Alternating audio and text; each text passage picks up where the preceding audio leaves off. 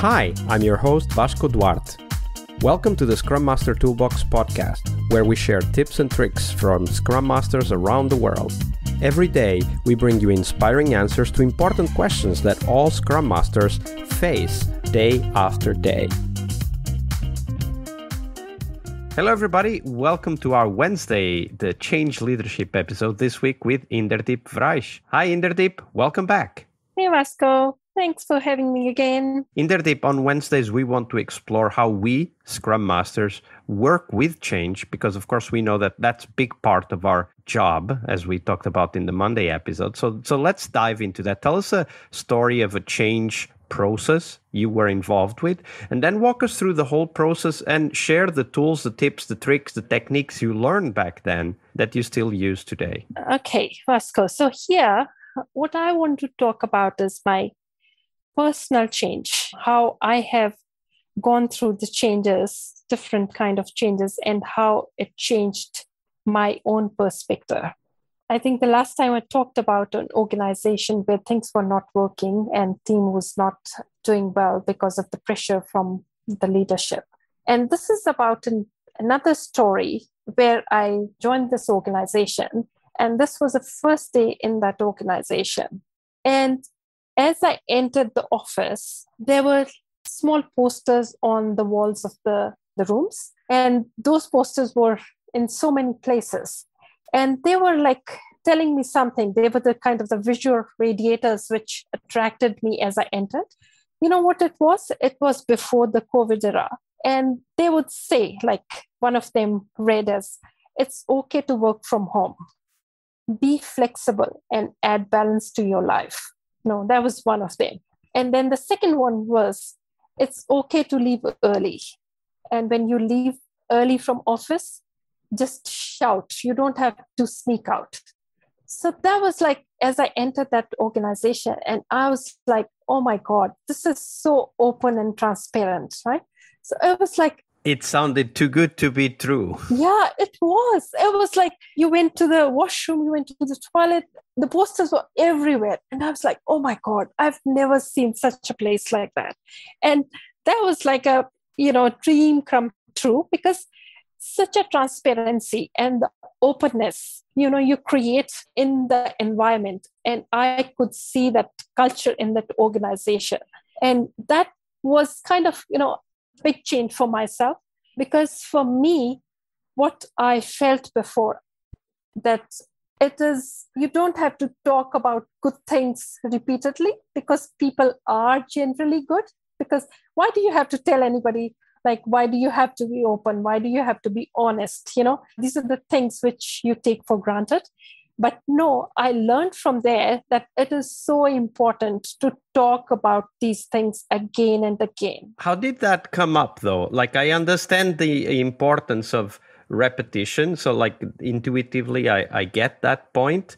But for you personally, Inderdip, like what what what caused you to change your mind? Like you you talked about, uh, for example, expecting that you know people are generally good, so we don't need to you know overly talk about what's good. But then you change your mind. Like what caused that change in you?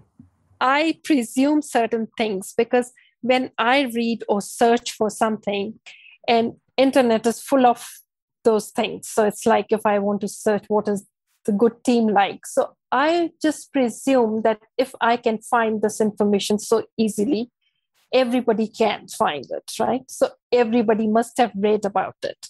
And I thought you don't have to talk about these things. These are always there about how good teams should behave, how people should behave. So it's like even the Scrum values, right? So these are the values which you have to be open you have to work in a team so you have to be honest you know you have to respect each other. So it's kind of simple things which everybody should know. So that was my presumption and i learned over a period of time from this one. When i entered this i was oh my god. You know when you are radiating those things and you are saying these things to people openly people will you know they will try to give it back to you as well right if some organization is giving you or empowering the people so much people will do their best to come up to that level which organization is putting trust in you, right? So that was an opening moment for me where it was like, no, I need to, with my team, I need to talk about these things on a regular basis. So, how do you do it now these days when you're talking to teams? Like, how do you bring that perspective and insight to the work that you do? Whenever we have some kind of retrospective, we talk about these things quite often and we try to get some insight out of it.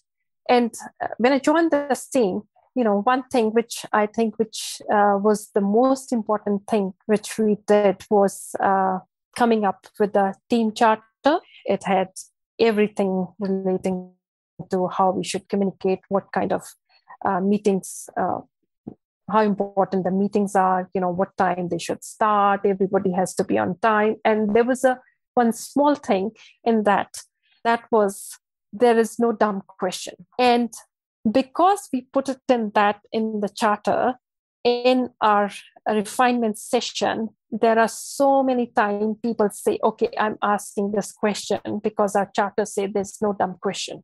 And I can see those questions, you know, what they ask, thinking that's a dumb question. They have so much value because they those questions they generate so much discussion in the team. So it's like, you know, creating that openness. And, you know, now we are in COVID situation where, you know, team needs to be bonding more in you know because they are stuck in their home and how to make them happy. So we have a culture in our team where we have like you know we do fun activity like even 10 minutes of fun activity within the team. So which i have been very proactive in making sure that we do something like that which kind of makes an openness and the trust environment within my team. And i think like we start with one fun activity and we go for like two weeks or one month and then we start another fun activity. And within these activities try to find about each other.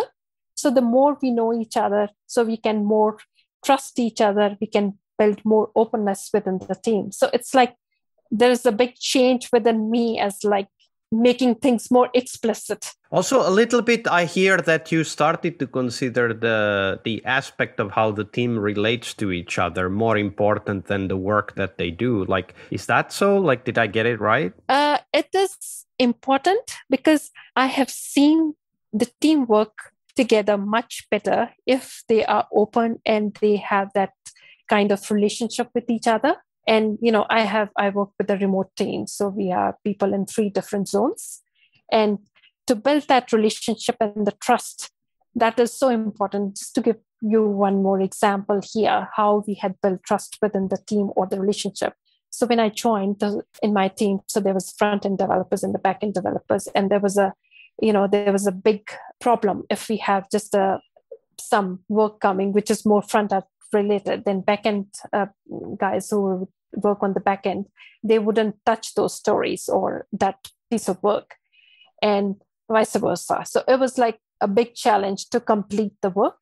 And once we started like having these communications and opening and people said okay we should have some kind of a tech sessions regular on the regular basis so that we can transfer knowledge to each other.